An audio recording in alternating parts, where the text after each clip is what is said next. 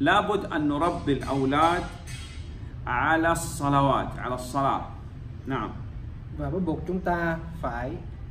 إذا بلغ الولد سبع سنين نأخذه إلى المسجد نعوده على الصلاة và buộc chúng ta phải răng dạy phải dạy dỗ những đứa con của chúng ta về việc hành lễ hàng ngày và nếu như người những đứa trẻ đó đã đủ tuổi